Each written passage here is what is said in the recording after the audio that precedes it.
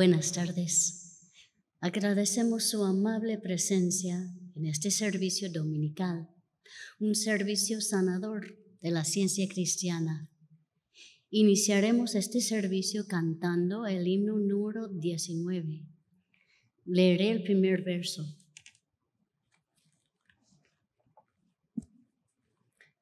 Con vestiduras blancas van, ya libres de tribulación, cantando himnos de loor a Dios, supremo amor. Son los de limpio corazón que alcanzaron bendición y junto al trono blanco están con gozo eternal. Himno número 19, hymn 19.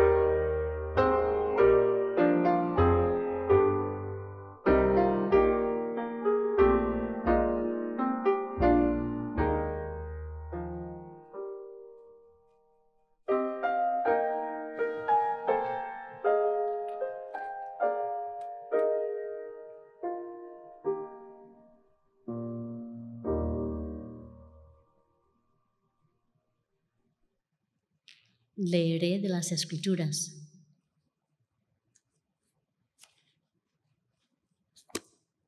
Salmos. Respóndeme cuando clamo a ti, oh Dios, tú que me declaras inocente. Libérame de, de mis problemas. Ten misericordia de mí y escucha mi oración. Me has dado más alegría que los que tienen cosechas abundantes de grano y de vino nuevo. En paz me acostaré y dormiré, porque solo tú, oh Señor, me mantendrás a salvo.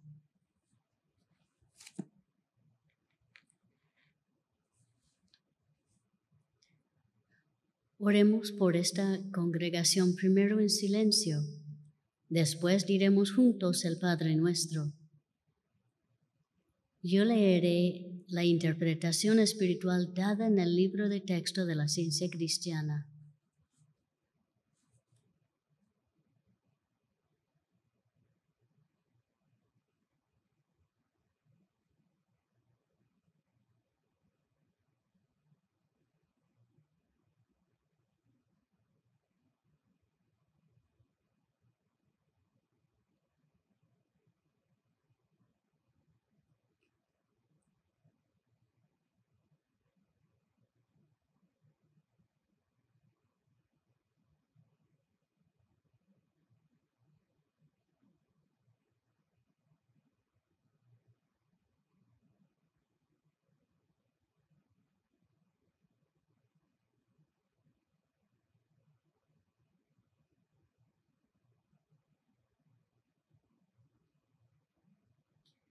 Padre nuestro que estás en los cielos.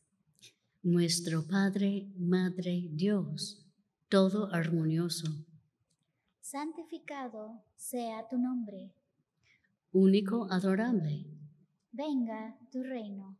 Tu reino ha venido, tú estás siempre presente. Hágase tu voluntad, como en el cielo, así también en la tierra. Capacítanos para saber que, como en el cielo, así también en la tierra, Dios es omnipotente, supremo. El pan nuestro de cada día, dánoslo hoy. Danos gracia para hoy. Alimenta los afectos hambrientos. Y perdónanos nuestras deudas, como también nosotros perdonamos a nuestros deudores. Y el amor es reflejado en el amor. Y no nos metas en tentación, mas líbranos del mal.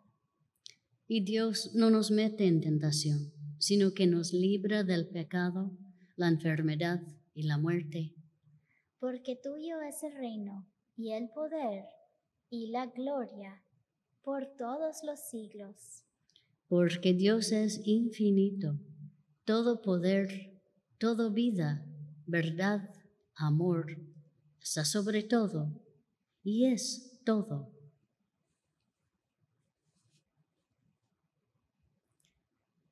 Cantemos el himno número 88.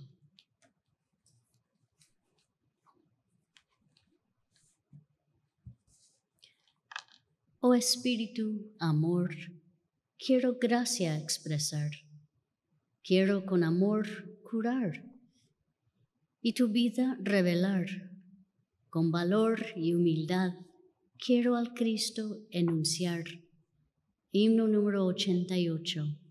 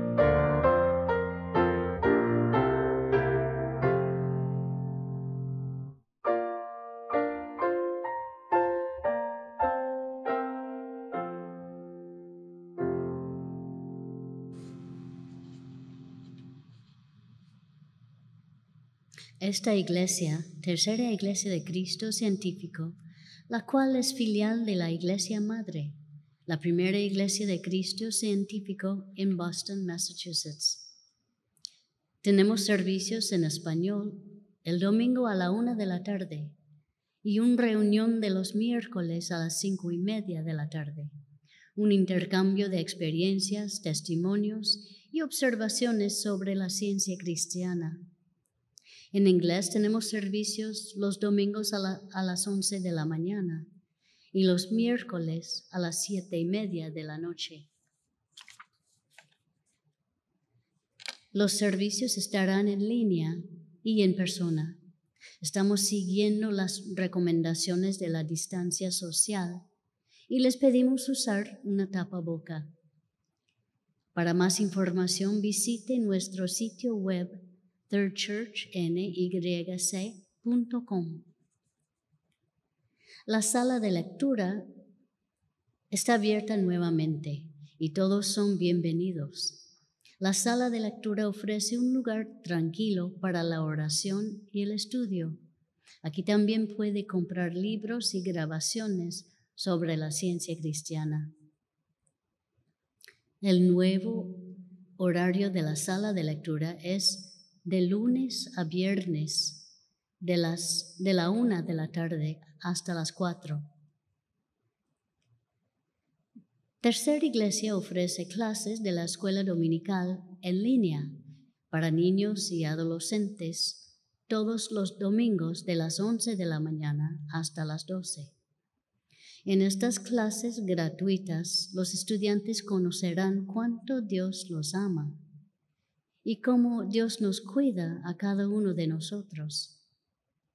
También aprenderán sobre los personajes y las lecciones de la Biblia.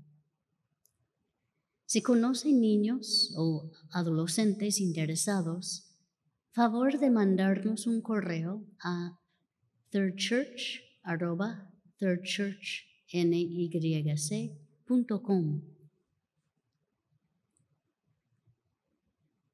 Le invitamos a escuchar el programa El Heraldo de la Ciencia Cristiana en la radio, Guado 1280 AM, todos los sábados a las 9 de la mañana. El solo, cantado por Julia Wade, se titula Cerca de ti, Señor.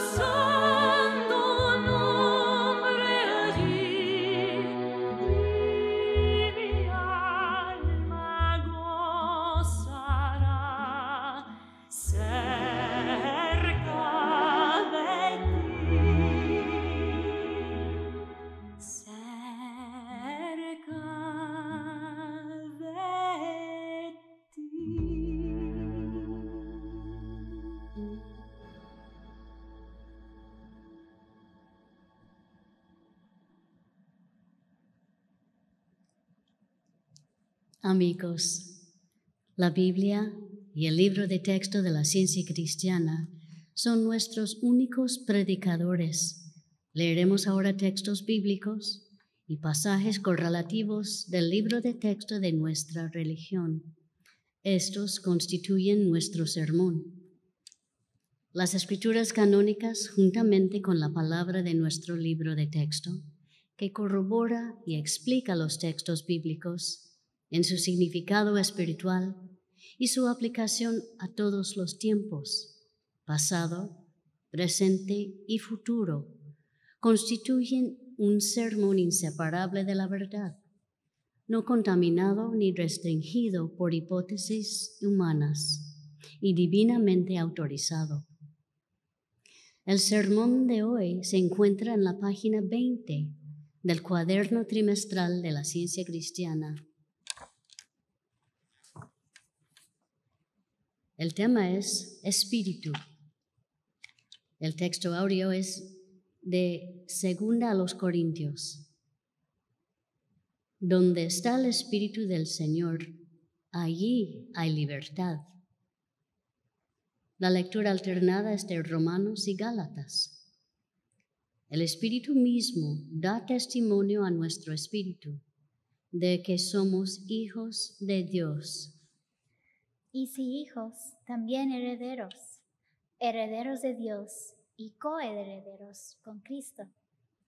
Tengo por cierto que las aflicciones del tiempo presente no son comparables con la gloria venidera que en nosotros ha de manifestarse. Porque el anhelo ardiente de la creación es aguardar la manifestación de los hijos de Dios. Y sabemos que a los que aman a Dios, todas las cosas les ayudan a bien esto es, a los que conforme a su propósito son llamados. ¿Qué pues diremos a esto? Si Dios es por nosotros, ¿quién contra nosotros? Estad pues firmes en la libertad con que Cristo nos hizo libres, y no estáis otra vez sujetos al yugo de esclavitud. Nosotros, por el Espíritu, aguardamos por fe la esperanza de la justicia. Porque vosotros, hermanos, a libertad fuisteis llamados. El fruto del Espíritu es amor, gozo, paz, paciencia, benignidad, bondad, fe. Mansedumbre, templanza. Contra tales cosas no hay ley. Si vivimos por el Espíritu, andemos también por el Espíritu. Leeré de la Biblia. Juan. Dios es Espíritu, y los que le adoren en espíritu y en verdad es necesario que adoren. Salmos. Crea en mí, oh Dios, un corazón limpio y renueva un espíritu recto dentro de mí. Vuélveme el gozo de tu salvación y espíritu noble me sustente. Ezequiel. Vino a mí palabra de Jehová, diciendo, Pondré dentro de vosotros mi espíritu, y haré que andéis en mis estatutos y guardéis mis preceptos y los pongáis por obra. Habitaréis en la tierra que di a vuestros padres, y vosotros me seréis por pueblo, y yo seré a vosotros por Dios. Leeré de la ciencia y salud con la llave de las escrituras por Mary Baker Eddy. El Espíritu no está separado de Dios. El Espíritu es Dios. Puesto que el Espíritu es Dios, no hay más que un único Espíritu, pues no puede haber sino un único infinito y por lo tanto un único Dios. No hay ni muchos espíritus, ni muchos dioses. El punto de partida de la ciencia divina es que Dios, el Espíritu, es todo en todo y que no hay otro poder ni otra mente, que Dios es amor y por lo tanto es el principio divino. La verdadera comprensión de Dios es espiritual. Roba la victoria al sepulcro destruye la falsa evidencia que desorienta el pensamiento y señala hacia otros dioses u otros así llamados poderes, tales como la materia, la enfermedad, el pecado y la muerte, como superiores o contrarios al único espíritu.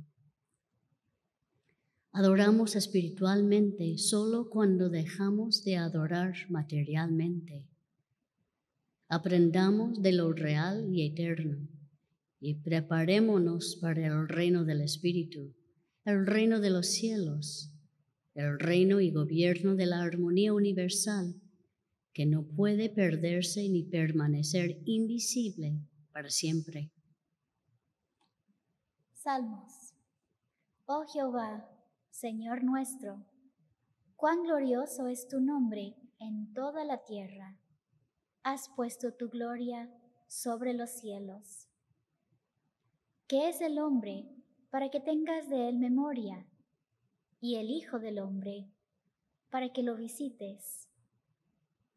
Le hiciste señorear sobre las obras de tus manos, todo lo pusiste debajo de sus pies.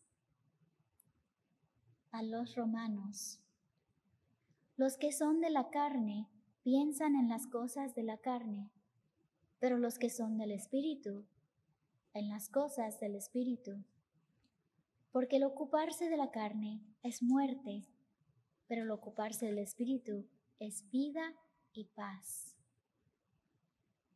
Por cuanto los designios de la carne son enemistad contra Dios, porque no se sujetan a la ley de Dios, ni tampoco pueden. Y los que viven según la carne no pueden agradar a Dios. Mas vosotros no vivís según la carne, sino según el Espíritu, si es que el Espíritu de Dios mora en vosotros. Primera a los Corintios. Y nosotros no hemos recibido el Espíritu del mundo, sino el Espíritu que proviene de Dios, para que cercamos lo que Dios nos ha concedido. En la ciencia el hombre es linaje del espíritu. Lo bello, lo bueno y lo puro constituyen su ascendencia. Su origen no está como el de los mortales, en el instinto bruto, ni pasa él por condiciones materiales antes de alcanzar la inteligencia. El espíritu es su fuente primitiva y última del ser. Dios es su Padre y la vida es la ley de su ser. Puesto que Dios es sustancia y el hombre es la imagen y semejanza divina, el hombre debiera desear y en realidad posee solo la sustancia del bien, la sustancia del espíritu, no de la materia. El hombre es tributario de Dios, el Espíritu, y de nada más. El ser de Dios es infinitud, libertad, armonía y felicidad sin límites. Donde está el Espíritu del Señor, allí hay libertad.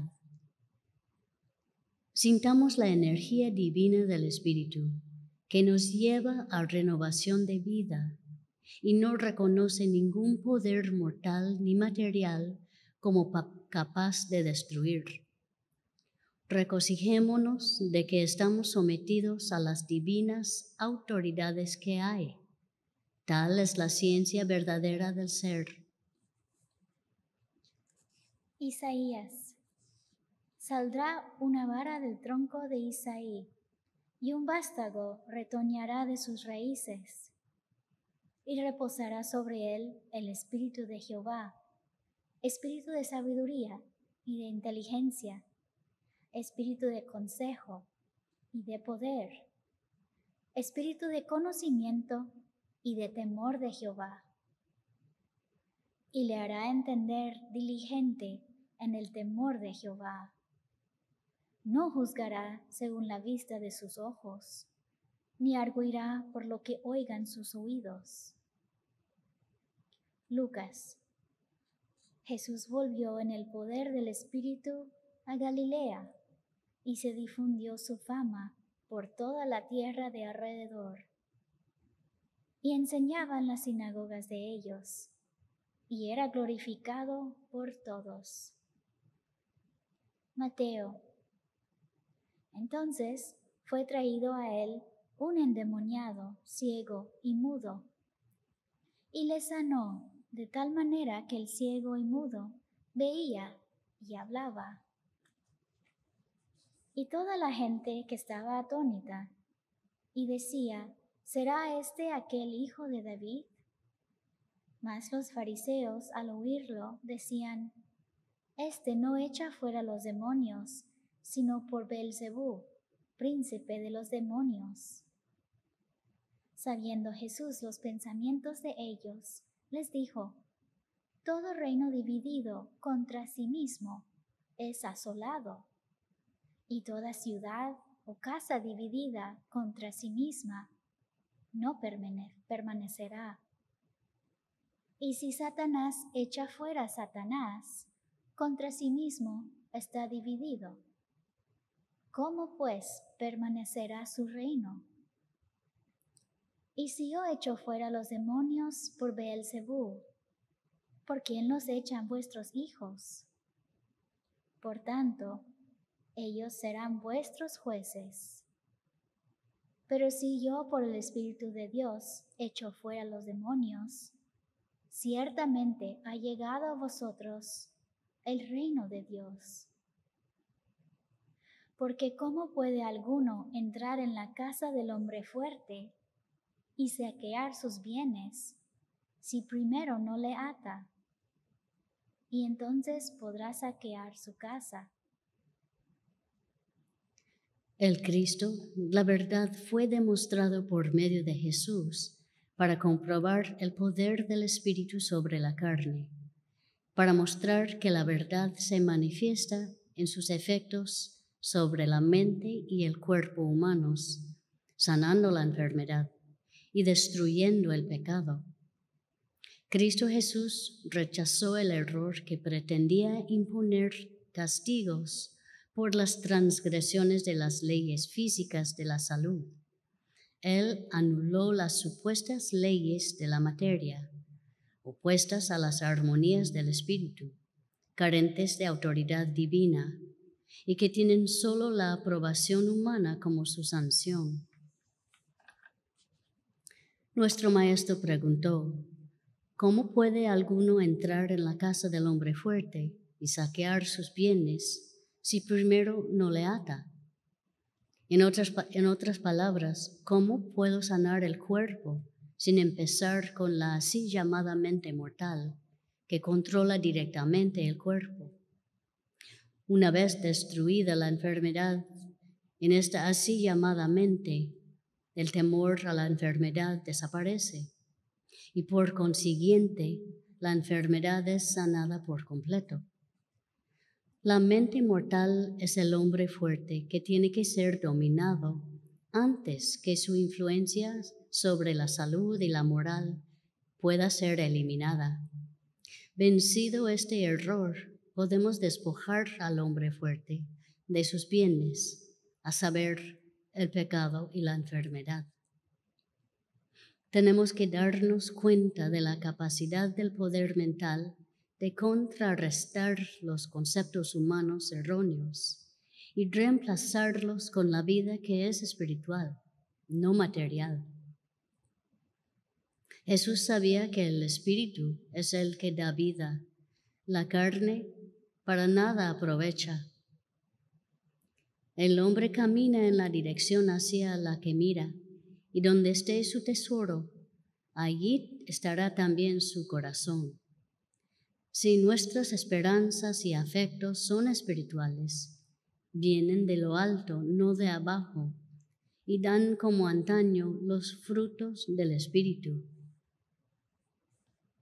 Lucas. Vino un varón llamado Jairo, que era principal de la sinagoga, y postrándose a los pies de Jesús, le rogaba que entrase en su casa, porque tenía una hija única, como de doce años, que se estaba muriendo. Y mientras iba, la multitud le oprimía.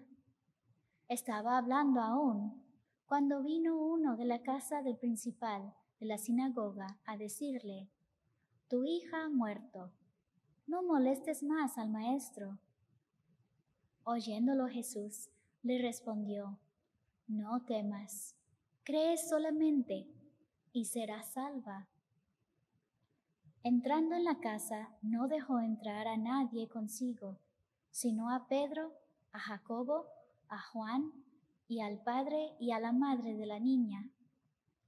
Y oraban todos y hacían lamentación por ella. Pero él dijo, No lloréis, no está muerta, sino que duerme. Y se burlaban de él sabiendo que estaba muerta. Mas él, tomándola de la mano, clamó diciendo, Muchacha, levántate. Entonces su espíritu volvió e inmediatamente se levantó y él mandó que se le diese de comer. Las escrituras nos informan que todas las cosas son posibles para Dios. Todo lo bueno es posible para el espíritu. Pero nuestras teorías prevalecientes prácticamente niegan esto y hacen posible la curación solo por medio de la materia. Estas teorías tienen que ser falsas, pues las escrituras son verdaderas. Jesús anduvo sobre las olas, alimentó a las multitudes, sanó a los enfermos y resucitó a los muertos en directa oposición a las leyes materiales. Sus actos eran la demostración de la ciencia, venciendo las falsas pretensiones del sentido o ley materiales. El milagro de la gracia no es milagro para el amor. Jesús demostró la incapacidad de la corporalidad, así como la capacidad infinita del espíritu, ayudando así al sentido humano que hierra a huir de sus propias convicciones y a buscar seguridad en la ciencia divina. La razón bien dirigida sirve para corregir los errores del sentido corporal. Pero el pecado, la enfermedad y la muerte parecerán reales, así como las experiencias del sueño mientras dormimos parecen reales, hasta que la ciencia de la armonía eterna del hombre quebrante esas ilusiones con la inquebrantable realidad del ser científico. Para prevenir la enfermedad o para curarla, el poder de la verdad del Espíritu Divino tiene que romper el sueño de los sentidos materiales. Insiste mentalmente en que la armonía es la realidad y que la enfermedad es un sueño temporal percibe la presencia de la salud y la realidad del ser armonioso hasta que el cuerpo corresponda con las condiciones normales de la salud y la armonía.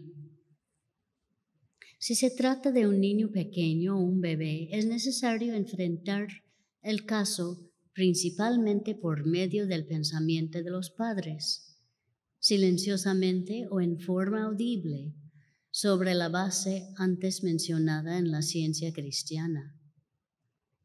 Mantén las verdades de la ciencia cristiana, que el Espíritu es Dios y por lo tanto no puede estar enfermo, que lo que se denomina materia no puede estar enferma, que toda causalidad es la mente, obrando por medio de la ley espiritual. Luego, mantén tu posición con la firme comprensión de la verdad y el amor, y triunfarás.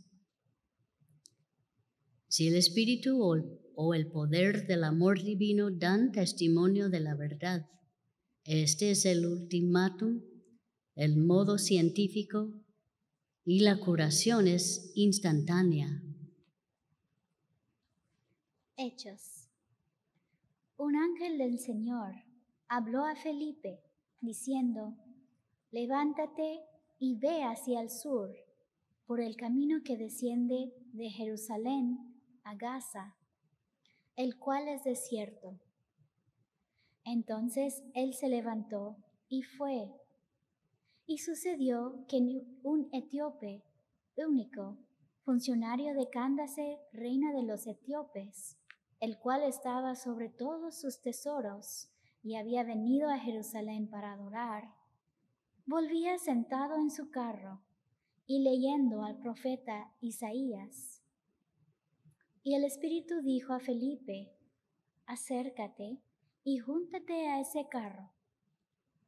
Acudiendo Felipe, le oyó que leía al profeta Isaías y dijo, ¿pero entiendes lo que lees? Él dijo, ¿y cómo podré si alguno no me enseñare? Y rogó a Felipe que subiese y se sentara con él. Entonces Felipe, abriendo su boca, y comenzando desde esta escritura, le anunció el Evangelio de Jesús. Y yendo por el camino, llegaron a cierta agua, y dijo el eunuco, aquí hay agua, ¿qué impide que yo sea bautizado? Felipe dijo, si crees de todo corazón, bien puedes. Y respondiendo dijo, Creo que Jesucristo es el Hijo de Dios. Y mandó para parar el carro. Y descendieron ambos al agua, Felipe y el eunuco, y le bautizó. Cuando subieron del agua, el Espíritu del Señor arrebató a Felipe, y el eunuco no le vio más, y siguió gozoso en su camino. El Espíritu bendice al hombre, pero el hombre no sabe de dónde viene. Por medio de aquel, los enfermos son sanados, los afligidos son consolados y los pecadores son reformados. Estos son los efectos de un único Dios universal, el bien invisible que mora en la ciencia eterna. Por medio de la ciencia divina, el Espíritu, Dios, une la comprensión a la armonía eterna. El pensamiento calmo y exaltado o la comprensión espiritual está en paz. Así continúa el amanecer de las ideas formando cada etapa sucesiva de progreso.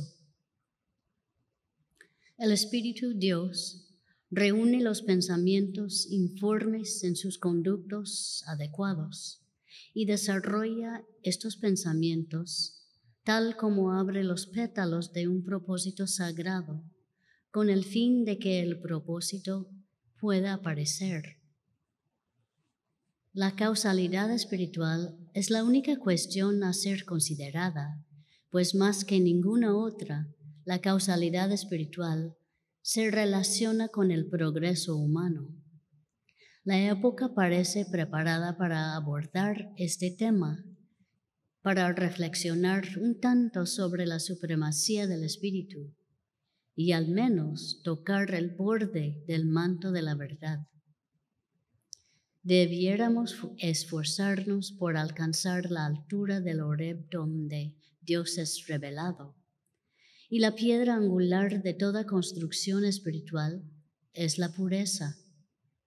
El bautismo por el Espíritu, que lava el cuerpo de todas las impurezas de la carne, significa que los de limpio corazón ven a Dios y están acercándose a la vida espiritual y su demostración. Cuando comprendamos que la vida es el Espíritu, nunca en la materia, ni de la materia. Esta comprensión se expandirá hasta su compleción propia, encontrándolo todo en Dios el bien y sin necesitar ninguna otra conciencia. Juan, el Espíritu es el que da vida, la carne para nada aprovecha. Primera a los Corintios. ¿No sabéis que sois templo de Dios y que el Espíritu de Dios mora en vosotros? Segunda de Timoteo. Porque no nos ha dado Dios espíritu de cobardía, sino de poder, de amor y de dominio propio. Guarda el bien, el buen depósito por el Espíritu Santo que mora en nosotros.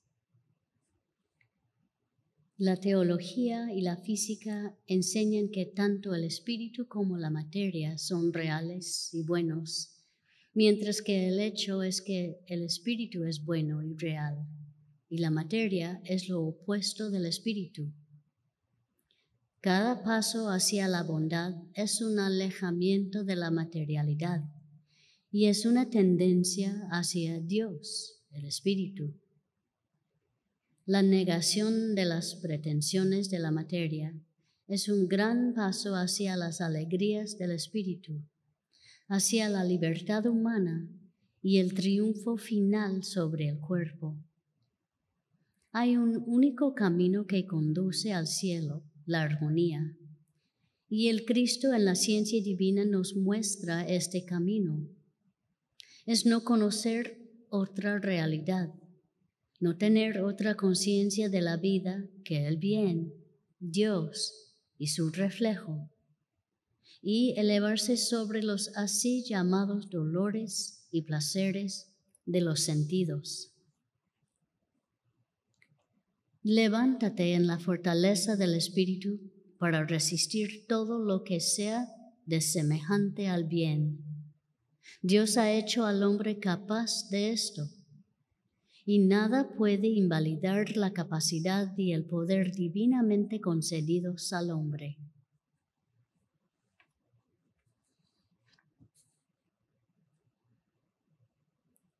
Si desean hacer una donación, le pedimos su colaboración con una distancia social.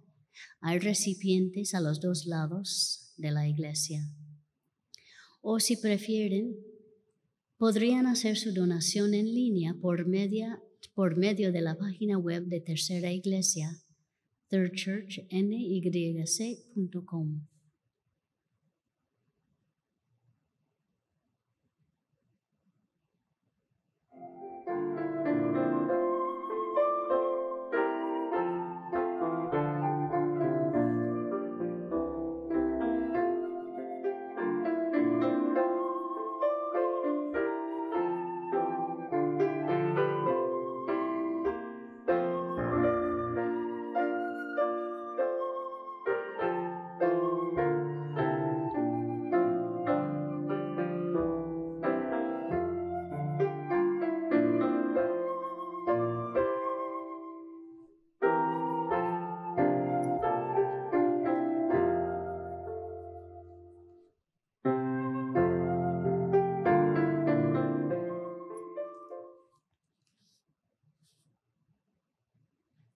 Cantemos el himno número 346.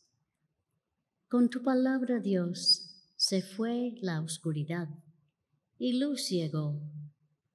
Escucha mi oración. Si tu evangelio, Dios, no ha llegado aún, sea la luz. Número 346. Hymn 346.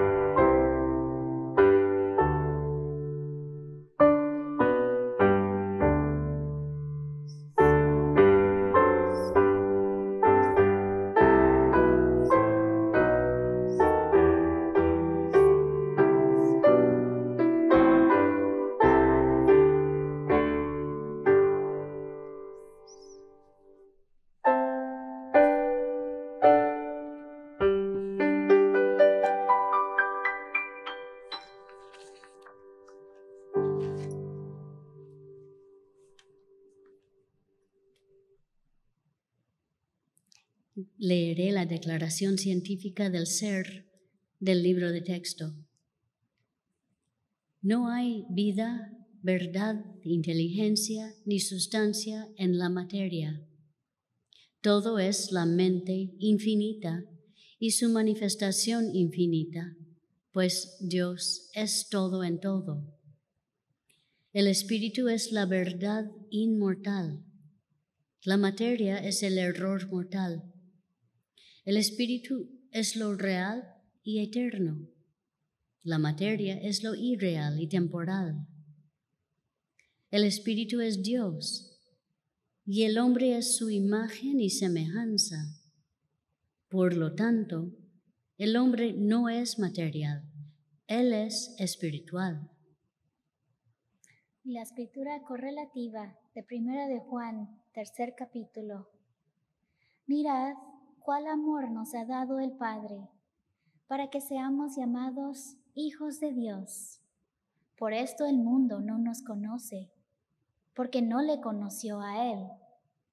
Amados, ahora somos hijos de Dios, y aún no se ha manifestado lo que hemos de ser, pero sabemos que cuando Él se manifieste, seremos semejantes a Él, porque le veremos tal como Él es. Y todo aquel que tiene esta esperanza en Él, se purifica a sí mismo, así como Él es puro.